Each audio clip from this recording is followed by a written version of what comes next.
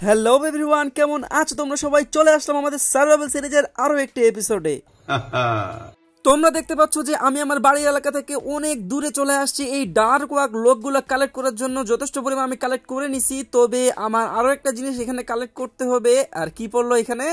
লাঠি। ও আচ্ছা এখানে আমি গাছটা কেটে রাখছি ওই জন্য এখান থেকে পাতা থেকে লাঠিগুলো পড়তেছে। তো আমি কি করব? এখানে যত পরিমাণে ডার্ক ওয়াক লোক নিছি ঠিক তার নিচের সারিতে আমি এই যে সাদা রঙের কাঠগুলো আছে এগুলো আমি এখন জোগাড় করব এই যে এগুলো কেটে কেটে নিব। অনুমতি দেওয়া হলো। এই দুই কালারের বা এই দুই ধরনের কাঠ বা লোক আমার দরকার তাই এত দূর আসা। আর আমার ইনভেন্টরিতে আরও অনেক জিনিস দেখতেছো আমি মাইনিং এ গেছিলাম।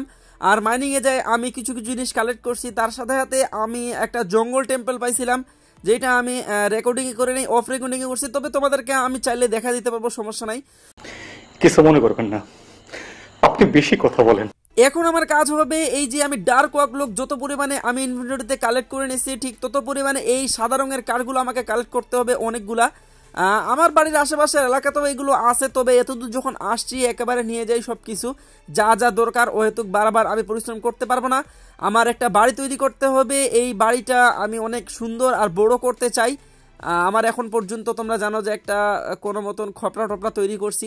যেটাতে থাকা আসলে খুব কষ্টকর। আমি একটা পারফেক্টলি উডেন হাউস তৈরি করতে যাচ্ছি এই এপিসোডের মধ্যে। দেখা যাক আমরা কেমন ডিজাইনের তৈরি করতে পারি। তার আগে আমাদের অনেকগুলো উড এখানে কালেক্ট করতে হবে। তাড়াতাড়ি করে আমরা উডগুলো কালেক্ট করে নেই।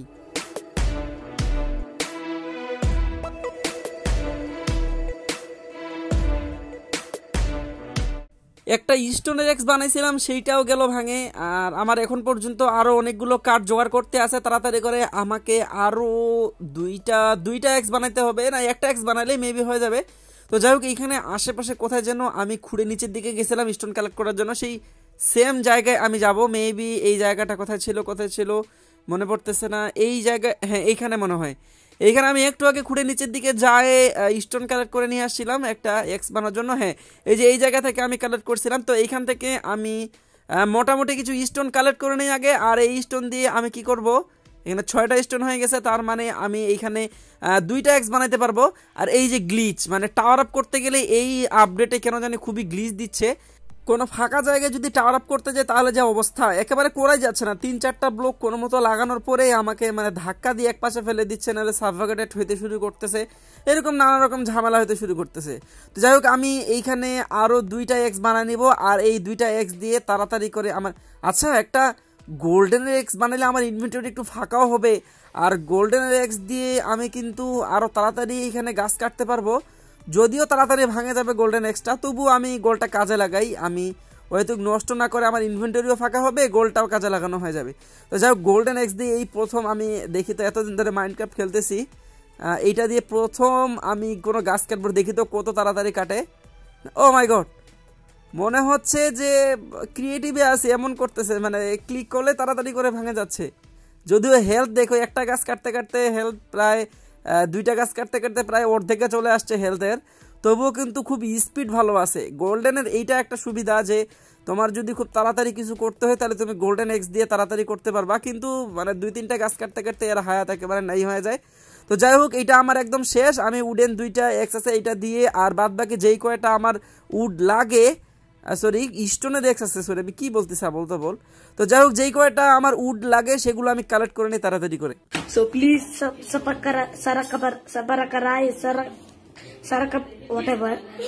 please I want reach one million তো বন্ধুরা ফাইনালি আমার ইনভেন্টরি একদম সেট করে নিয়ে যা যা দরকার ছিল আমি মোটামুটি এখান থেকে নিয়ে নিয়েছি কিছু সেপলিংও নিয়ে নিয়েছি ডার্ক ওয়াক লোগের ষোলোটার মতো।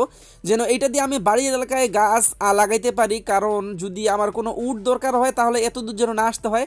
আর এখন আমাকে বাড়ির দিকে যাইতে হবে খুব দ্রুত। আর আমার শিলটা সামনের দিকে ডিস্টার্ব দিচ্ছে একটু মানে কেমন কেমন যেন লাগতেছে। এই শিলটা আমাকে খুলে রাখতে হবে আগে। আমার তো মনে হয় ইনভেন্টরিতে জায়গাও নাই, আর তো যাই হোক, আমি আমার ইনভেন্টরি একদম ভালোভাবে সেট করে নিই, তারপরে আবার যাত্রা শুরু করি।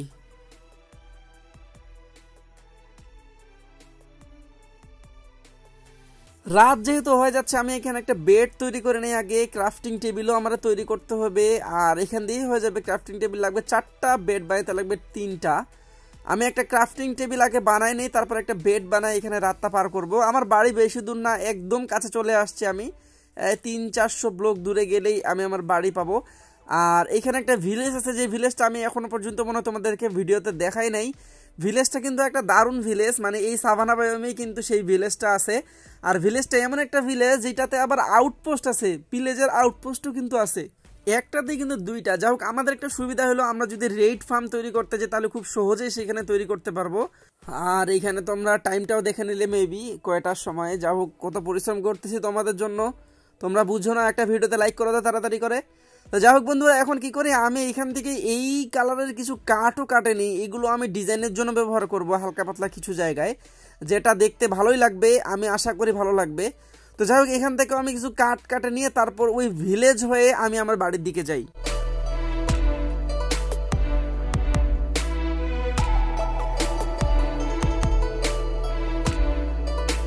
এখানে এমার্জেন্সি শিলটা আগে হাতে নিতে হবে না হলে বারোটা বাজে দিবে। তোমরা দেখতে পাচ্ছ যে এখানে আমার সামনে ভিলেজ আর ভিলেজের মাঝখানে কিন্তু ভিলেজের আউটপোস্ট আর এটা দিয়ে আমাদের যাইতে হবে। আমি একদম বাড়ির কাছে। তোমরা যদি কোঅর্ডিনেট মনে রাখতে পারো, তাহলে তোমরা বলতে পারবা যে আমার বাড়ি একদম কাছে।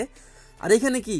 ওয়াটারমেলনের সিড ও মাই গড এখানে আমার ওয়াটারমেলনের সিড কিন্তু মোটামুটি লেভেলের রেয়ার হয়। আমার এগুলো লাগবে। আমি এটার ফার্ম করব। তো এখানে যতগুলো আছে আমি নিয়ে নেই। আর এখানে আমার গেম একটু একটু লেক করতেছে, তার মানে মনে হয় পিলেজার স্পন হচ্ছে। মানে আমি এখানে যে আসছি, এই চাঙ্কের মধ্যে আসছি, এখানে পিলেজার স্পন হওয়া শুরু হয়ে গেছে। তাড়াতাড়ি করে আমার এখান থেকে চলে যেতে হবে, হয়তো আমি এখানে পাঙ্গা নিতে চাই না। আর এখানে কেন জানি ভিলেজার নাই ভিলেজারদের যে কি করছে আতিক ভাই রিশাক ভাই আল্লাহ জানে। ভিলেজারগুলোকে যদি তারা কোনো এক জায়গায় নিয়ে যায়, রাখে দেয়, তাহলে তো ভালোই। আর যদি মারে দেয়, তাহলে কিন্তু অনেক ঝামেলা হবে, কারণ আশেপাশে অনেক দূর পর্যন্ত আমি এক্সপ্লোর করে ফেলছি, আর কোনো ভিলেজ পাচ্ছিলাম না।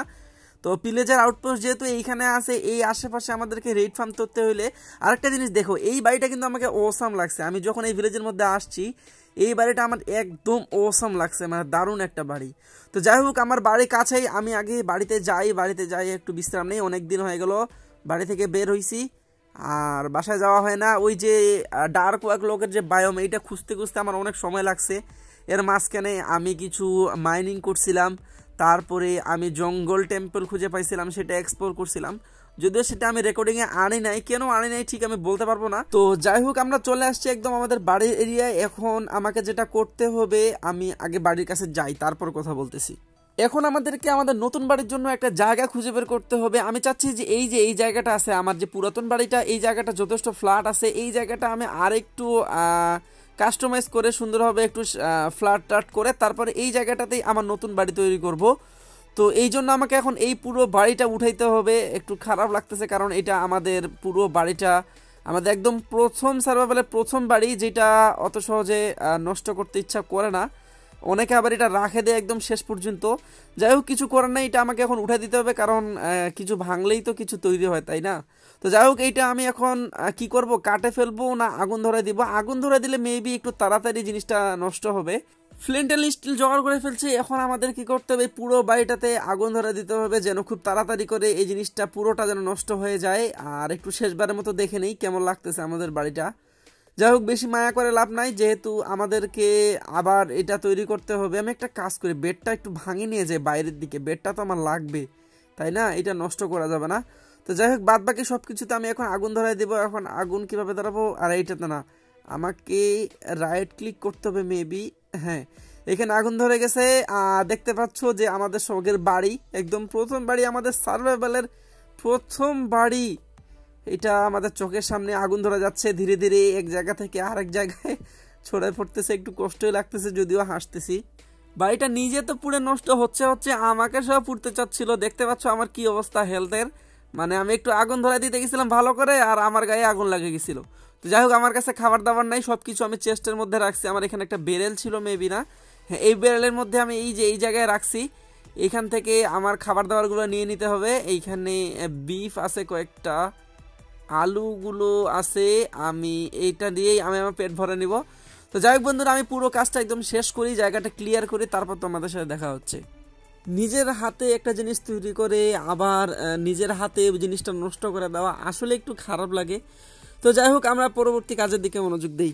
তো বন্ধুরা, তোমরা দেখতে পাচ্ছ যে আমি এই জায়গাটা ক্লিয়ার করে ফেলছি, আর এই যে এই কোণ থেকে এই দিকে যায়, আবার এই দিকে আসব মানে এই স্কোয়ার করে এই জায়গাটা আমরা একদম সমান করে নেব আগে, তারপরে আমরা এর মধ্যেই কিন্তু বাড়িটা তৈরি করব। সামনের দিকে একটু ফাঁকা রাখব, আমি চেষ্টা করব একটু পিছনের দিকে নিয়ে যেতে যতটুকু জায়গা আমার লাগবে, সেই জায়গা পরিমাণে আমি কিন্তু ডাট দিয়ে মার্ক করে ফেলছি মানে এখন আমাদেরকে যেটা করতে হবে ডাট দিয়ে পুরো জায়গাটা কভার করতে হবে, আর আমার ডাট শেষ, বলতে বলতে ডাট শেষ। তোমরা যদি একটু দেখো বন্ধুরা যে এই জায়গাটা যে আমি সম্মান করছি বা করতেছি, এই সামনের জায়গাটুকু, আর এই যে যে জায়গাটা, এই জায়গাটা তো সমান করাই আছে, কিন্তু এই যে সামনের জায়গাটুকু, এই জায়গাটুকু এখন আমাদেরকে ডাট খুঁড়ে নিয়ে আসে, পুরো জায়গাটা কভার করতে হবে।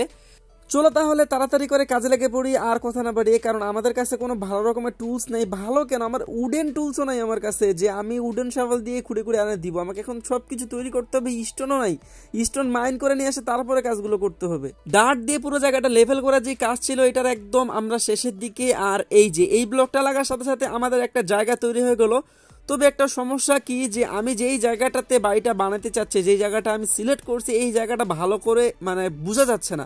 তো এই জন্য আমি কি করব, পুরো জায়গাটা ধার দিয়ে আলাদা রকমের কিছু ব্লক দিয়ে জায়গাটা আমি হাইলাইট করব মানে চারপাশ দিয়ে আমি একটা আউটলাইন দিব, যেন জিনিসটা দেখে বোঝা যায় যে এই এরিয়ার মধ্যেই আমরা বাড়িটা তৈরি করতেছি।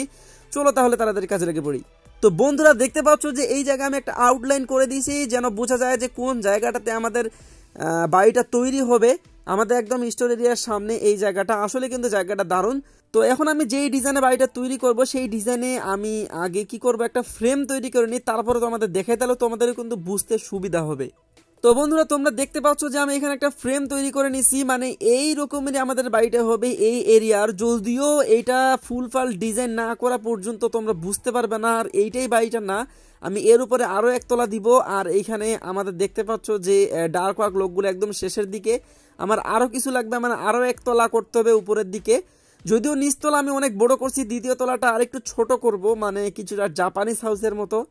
আমি কোনো টিউটোরিয়াল দেখেও করতেছি না, এটা একদম যেমন আমার মাথায় আসতেছে তেমনই করতেছি।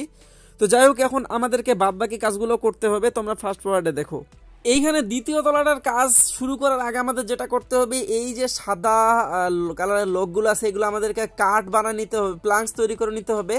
এখানে আমি প্লাংস তৈরি করে নিলাম। এই প্লাংসগুলো দিয়ে আগে আমাদের কি করতে হবে? আমাদের প্রথম তলার ছাদটা কমপ্লিট করে দিতে হবে।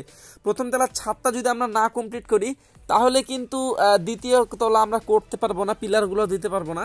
সেই জন্য আমাদের এখন এই কাজটাই আগে করতে হবে। তাড়াতাড়ি করে আমরা এই কাজটা সেরে ফেলি।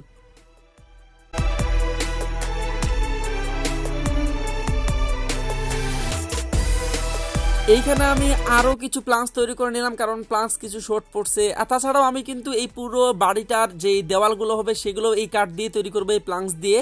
সেজন্য কিন্তু এই প্লাঙ্কসগুলো আমার লাগবে, তাই বেশি করেই আমি প্লাঙ্কসগুলো তৈরি করে নিলাম।